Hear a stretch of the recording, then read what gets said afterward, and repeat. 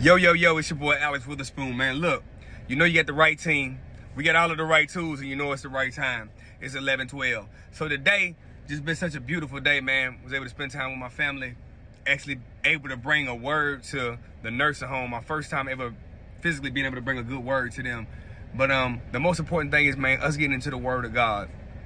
And I want to read to y'all Revelations chapter 3, verse 8.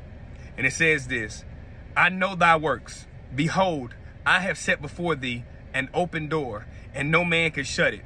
For thou hast a little strength, and hast kept my word, and has not denied my name. Listen, man, when you know, you know. You know, a lot of times people can be like, hey, I'm doing this for the Lord, I'm walking with the Lord, but I know my true walk and my true calling with, with Jesus Christ and how I'm moving with him. And I've been very patient and I've been just waiting on him to do all of the great things. I've been telling my family, I've been telling the people around me that I love, like, listen, the great thing is coming, the great thing is about to happen. And it's not always monetary. It's not always about how much money or uh, doing this or doing that. God is doing a new thing right now. And I don't know if you're under the sound of my voice and you're feeling it too, man, but I know God is doing something great. He's allowing us to become, he's bringing um, a new mantle to you.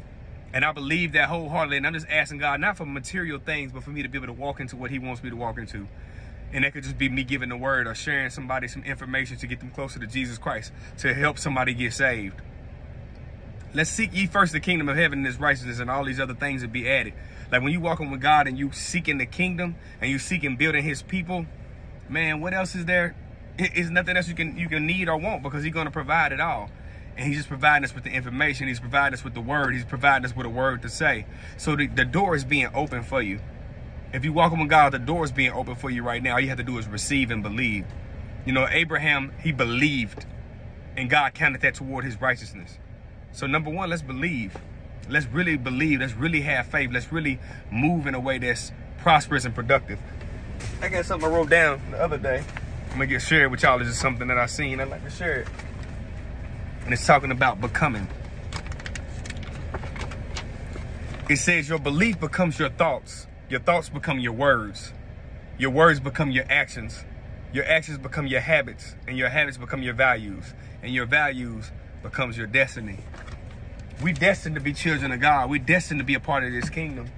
And so once you start aligning your will and your way with his will and his way, and you start understanding what God is expecting of you, what God is saying you are, and where God is taking you, that's all about reading the word and understanding what God is, who he is, and what he's doing.